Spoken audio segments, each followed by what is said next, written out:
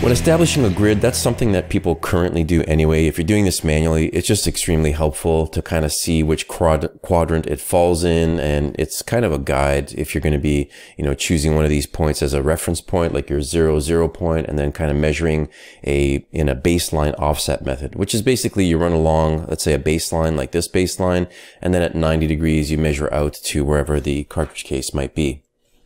Now, in our case, this is useful because this is going to help us to correct lens distortion after, and it's going to give us a bunch of coordinates.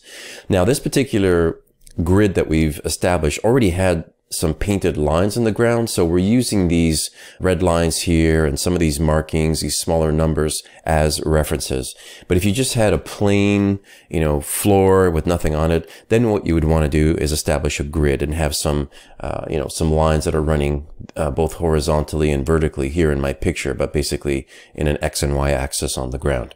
That's the grid and you can do that with tape or whatever string, if you're outdoors, whatever it might be. You can use whatever it is. But again, you just want to make sure that you have a grid that's very visible. Okay. Something that's clearly visible in the video.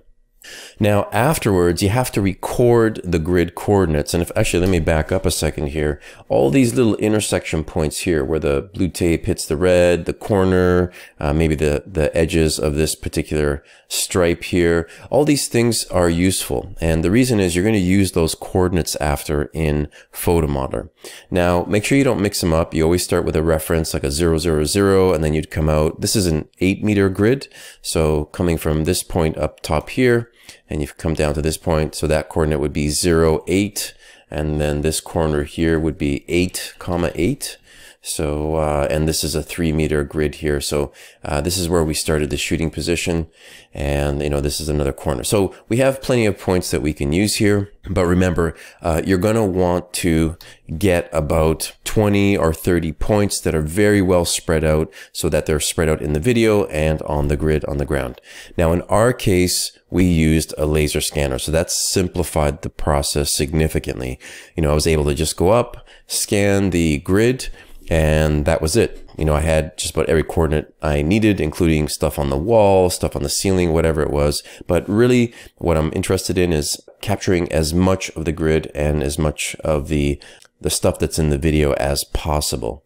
And if I back up here again, you'll notice that the grid makes up a very large area in the uh, in the overall video. And what we don't want to have is a very small grid in the in the in the middle, and then you know that's kind of what you're working with. What you really want to work with is a grid that's sort of taking up a lot of space.